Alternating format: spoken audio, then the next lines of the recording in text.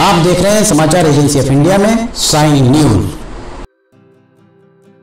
नमस्कार दोस्तों, समाचार एजेंसी ऑफ़ इंडिया की साइन न्यूज़ में एक बार फिर आपका स्वागत है। मध्य प्रदेश के सिवनी ज़िले में बंद का आह्वान 21 जून 2024 शुक्रवार को किया गया था। चारों खूंट सिवनी बंद रहा। वास्तव में सिवनी के निवासियों के मन में आक्रोश उद्वेलना अलग ही दिखाई दे रही है। समाचार एजेंसी ऑफ़ इंडिया की साई न्यूज़ के लिए अखिलेश दुबे की रिपोर्ट। सिवनी में हम आपको दिखा रहे हैं। बाजारों का नज़ारा, बाज़ार शुक्रवार 21 जून को पूरी तरह बंद ही नज़र आए। ये शहर के मुख्य बाज़ारों से हम आपको लेकर चल रहे हैं। पूरे बाज़ार ही बंद यहाँ दिखाई दे रहे हैं। दरअसल 19 जून बुधवार को शाम के समय कुछ गौवंश मजगवा, जो केवलारी विधानसभा क्षेत्र में आता है, के अलावा लखनादौन विधानसभा क्षेत्र के धूमा थाना अंतर गिर, अंतर्गत गिरगटिया के समीप जंगलों में गौवंश मिले थे, मृत अवस्था में मिले थे, और उन गौवंशों को एक ही तरह से काटा गया था उनका गला। यहाँ आप देख सकते हैं किस तरह युवाओं का आक्रोश दिखाई दे रहा है, युवाओं की भीड़ भी आपको दिखाई दे रही होगी। लगातार ही वे नारेबाजी कर रहे हैं। धूप खिली हुई है, बारिश का समय प्री मानसून रेंज का समय आ चुका है, पर उसके बाद भी धूप खिली हुई है और आप यहाँ देख सकते हैं, युवाओं की टोली किस तरह उद्वेलित और आक्रोशित है।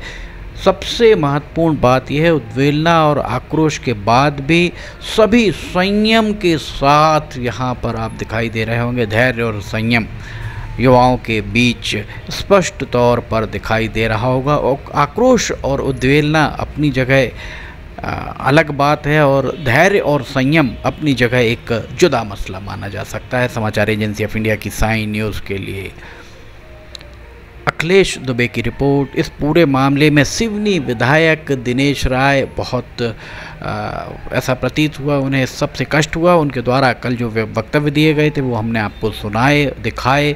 पुलिस अधीक्षक राकेश कुमार सिंह जिला कलेक्टर क्षितिज सिंगल सभी के द्वारा क्या कहा गया हम आपको कल बता चुके हैं। अब बंद का आह्वान यहाँ पर किया गया है। सनातन धर्म से संबंधित संस्थानों के द्वारा, जो भी माफ़ कीजिएगा संगठनों के द्वारा, संस्थान नहीं, संगठनों के द्वारा बंद का आयोजन किया गया और बंद में चारों खूट सिवनी शहर बंद रहा। लंबे समय के बाद इस तरीके का नज़ारा सिवनी में देखने को मिला, जब बंद, किसी मामले को लेकर बंद का आह्वान किया गया हो और इस तादाद में युवाओं का हजूम देखने को मिला हो। लंबा समय बीत गया है। समाचार एजेंसी ऑफ़ इंडिया की साइन न्यूज़ के लिए अखिलेश दुबे की रिपोर्ट। इस पूरे मामले की सूक्ष्मता से समय सीमा में टाइम फ्रेम में जाँच को बांधा जाना चाहिए और आ, सोशल मीडिया पर 20 जून की रात कुछ इस तरीके के वीडियोस भी सोशल मीडिया पर चल रहे थे जिनमें इस सब के बाद भी धूमा थाने से कुछ गौवंश गुजर रहे थे जो वास्तव में धूमा थाना पुलिस की कार्यप्रणाली पर प्रश्न चिन्ह लगाने के लिए पर्याप्त माने जा सकते हैं। विधायक दिनेश राय, विधायक राकेश पाल, पूर्व विधायक राकेश पाल सिंह, सभी के वक्तव्यों को ध्यान में रखाना, रखा जाना चाहिए। मुख्यमंत्री, चूँकि प्रभारी मंत्री सिवनी का फ़िलहाल कोई नहीं है, सरकार बने लगभग छः माह का समय बीत गया है और उसके बाद भी किसी को सिवनी का प्रभारी मंत्री नहीं बनाया गया। अंतर्राष्ट्रीय योग दिवस इक्कीस जून को मनाया गया। इस दिन भी सिवनी कोई मंत्री नहीं पहुँचा।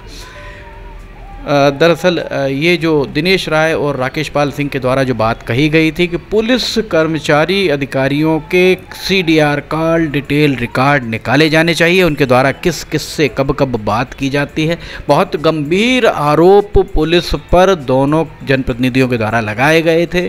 केवलारी क्षेत्र का मामला था, इसलिए केवलारी के पूर्व विधायक राकेश पाल सिंह ने भी वही बात कही और दिनेश राय, जो सिवनी के तीसरी बार विधायक बने उनके द्वारा भी यही बात कही गई कि पुलिस अधिकारियों के सीडीआर निकाले जाने चाहिए। इसके पहले सिवनी में इस तरीके की एक पुलिस सूत्रों का कहना है कि इस तरीके की कवायद हो चुकी है। जब रमन सिंह सिकरवार सिवनी में पुलिस अधीक्षक के बतौर पदस्थ थे उस दौरान जिस तेज गति से सिवनी से गौवंश का परिवहन होता था। उनके द्वारा पुलिस कर्मियों के ही कॉल डिटेल रिकॉर्ड निकाले गए और जैसा पुलिस सूत्रों ने बताया, सूत्रों का ये भी कहना था कि उसके बाद उन सीडीआर को निकालकर चिन्हित किया गया था कि कौन कौन सा पुलिसकर्मी गौवंश के परिवहन कर्ताओं का प्रत्यक्ष या परोक्ष तौर पर साथ देता है। ये पुलिस सूत्रों के द्वारा जो जानकारी दी गई, वो हम आपको बताते हैं।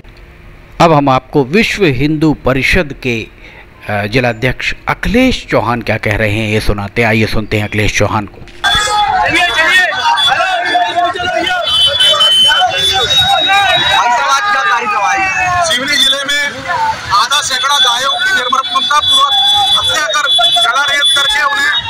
बहा दिया गया, विभिन्न स्थानों में फेंक दिया गया।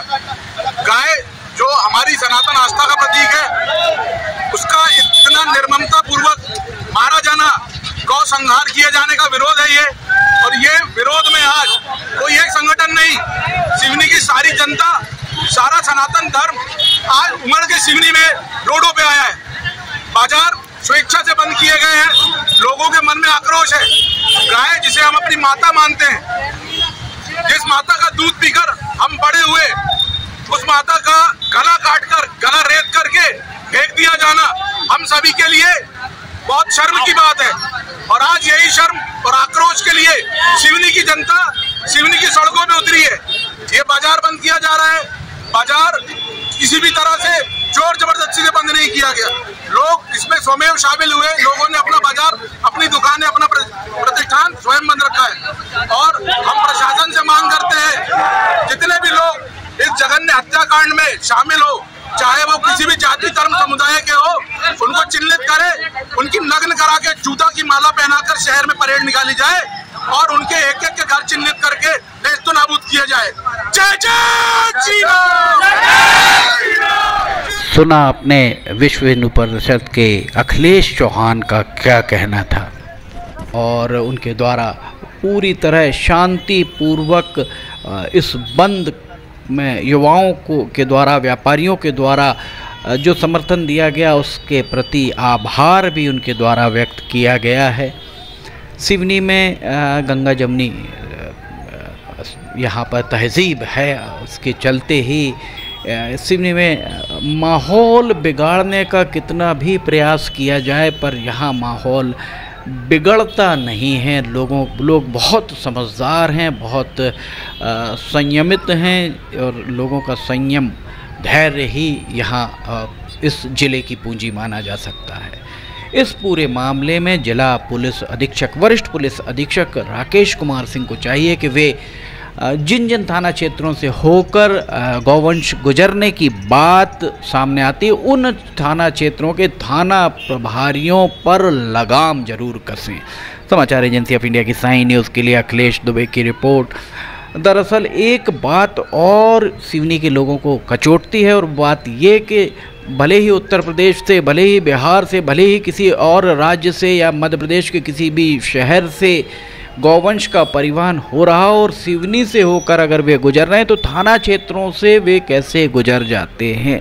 और थाना क्षेत्रों से अगर गुजर जाते हैं तो गुजर जाते हैं, पर परिवहन जाँच चौकी मेटेवानी से इन वाहनों में क्या लदा है? ये, वहाँ पर परिवहन जाँच चौकी के अधिकारी इसकी तस्दीक आखिर क्यों नहीं करते कि इसके अंदर क्या लिया जा रहा है? या फिर अगर ये जंगल के रास्ते से जा रहे हैं तो वन विभाग जो ये कहता है कि उनके वन क्षेत्र में परिंदा पर भी नहीं मार सकता। वहाँ से इतने भारी भारी वाहन कैसे गुजर जाते हैं? बारिश के समय जंगलों से, जंगलों के अंदर चार पहिया वाहन जिप्सी के अलावा जो फोर व्हील ड्राइव होती हैं, उनके अलावा दूसरे वाहन नहीं गुजर पाते हैं। पर ये इस तरीके के एक एक अगर गौवंश की हम बात करें तो एक एक गौवंश 400 300 400 किलो का होता है। और अगर 10 या 20 या 50 गौवंश लदे हैं तो कितना भार उसमें होगा। और जंगल के रास्ते से उनका गुजरना शायद नामुमकिन है, या फिर जंगल के रास्ते में पक्की सड़कें उनके द्वारा बना ली गई होंगी। इस मामले की जाँच के लिए ज़िले के चारों विधायक दिनेश राय, कमल मस्कोले, रजनीश सिंह, योगेंद्र सिंह, दोनों सांसद फग्गन सिंह गुलस्ते और भारती पारदी सभी को एक मंच पर आकर शासन से परिवहन मंत्री से, वन मंत्री से बात करनी चाहिए और सारी की सारी जो बातचीत है, उसका ब्यौरा सिवनी ज़िले के नागरिकों के सामने रखना चाहिए क्योंकि उनके द्वारा दिए गए जनादेश के चलते ही वे विधानसभा या लोकसभा की सीढ़ी चढ़ने में अपने आप को सक्षम पा रहे हैं। उन्हें जनादेश का सम्मान करना चाहिए। सिवनी में मेटेवानी चौकी, मेटेवानी जहाँ चौकी से ये वाहन कैसे गुजरते हैं और सिवनी में जो रूट इनके द्वारा अपनाया जाता है, सूचना संकलन, थानों का सूचना संकलन, ऐसा लग रहा है जिस तरीके की घटना घटी है, उसके बाद यही प्रतीत हो रहा है कि थानों का सूचना संकलन में पूरी तरह जंग लग चुकी है, सड़ांध मार रहा है सूचना संकलन तंत्र। जो इनका जो तंत्र, सूचना संकलन का तंत्र है तंत्र पूरी तरह से सड़ांध मारता प्रतीत हो रहा है। इस पूरे मामले को बहुत संवेदनशील मामला है, इसलिए इस संवेदनशील मामले को उसी तरह से इसे हैंडल किया जाना चाहिए। चाहे जिला कलेक्टर हों, चाहे जिला पुलिस अधीक्षक हों, सभी को इस पूरे मामले में और बेहतर होगा कि किसी स्वतंत्र जाँच एजेंसी से इस पूरे मामले की जाँच की मांग की जाए। इसके साथ ही एक बात और जो सामने आ रही है कि इतने सारे गौवंशों का दो चार घंटे में शव परीक्षण कैसे संभव है, इस बारे में भी प्रश्न सवालिया निशान लगते दिख रहे हैं, क्योंकि एक गौवंश का, इतनी जल्दी शव परीक्षण शायद संभव नहीं हो सकता है। बहरहाल जो भी तथ्य निकल कर सामने आएँगे। इक्कीस जून को पुलिस की ओर से, प्रशासन की ओर से इस पूरे मामले में अभी तक कोई बयान नहीं आया है। सांसद बालाघाट भारती पारदी, उनके संसदीय क्षेत्र में ये घटना नहीं घटी है, पर ये बंद का आह्वान उनके संसदीय क्षेत्र में हुआ है। मंडला के सांसद फग्गन सिंह कुलस्ते, जो केंद्र में मंत्री भी रहे हैं, उनके संसदीय क्षेत्र में पूरी घटना घटी है, पर दोनों का मौन टूटा नहीं है, जो लोगों के बीच में चर्चा का विषय बना हुआ है। इसके अलावा एक और बात 21 जून को निकल के आ रही कि कुछ गौवंश और भी रास्ते में कहीं मिले, हालाँकि इस बात की अभी तक पुष्टि नहीं हो पाई है कि वे कहाँ मिले हैं, पर यह बात सामने आ रही है कि गौवंश और मिले हैं। इतनी तादाद में गौवंश को एक तरह से गर्दन काट कर निर्ममता से उनकी गर्दन काटना इसके पीछे कारण क्या हो सकता है? इस बारे में लोग चर्चा करते हुए दिख रहे हैं। समाचार एजेंसी ऑफ़ इंडिया की साइन न्यूज़ के लिए अखिलेश दुबे की रिपोर्ट। इस पूरे इस मामले में, चूँकि ये मामला संवेदनशील मामला है, इसलिए इस पूरे मामले में प्रशासन को और जनप्रतिनिधियों को, जनता को विश्वास में लेने की ज़रूरत है। जनता से बात, ये देख सकते हैं कितना यहाँ पर आपको हजूम दिखाई दे रहा होगा। समाचार एजेंसी ऑफ़ इंडिया की साई न्यूज़ के लिए अखिलेश दुबे की रिपोर्ट। अगर आपको समाचार एजेंसी ऑफ़ इंडिया की साई साई न्यूज़ में खबरें पसंद आ रही हूँ तो आप इन्हें लाइक सब्सक्राइब और शेयर ज़रूर कीजिएगा। फ़िलहाल हम आपसे इजाज़त लेना चाहेंगे। हम फिर हाजिर होंगे। जय हिंद।